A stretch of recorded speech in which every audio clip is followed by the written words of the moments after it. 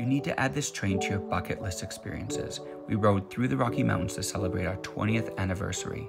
We left Vancouver for the two day journey. The train has this big glass dome so you don't miss any of the views. All of your meals are served in the dining car below, where you receive a full menu. You get both breakfast and lunch, followed by unlimited bar cart service all day long. At any time, you can go to the viewing platform, where you'll go under bridges, over bridges, through canyons, rivers, and mountains, and stunning waterfalls. This was a trip we'll remember forever. We finally arrived to our destination in Jasper, Alberta. This was a first class experience all the way. You can read all about it on my blog.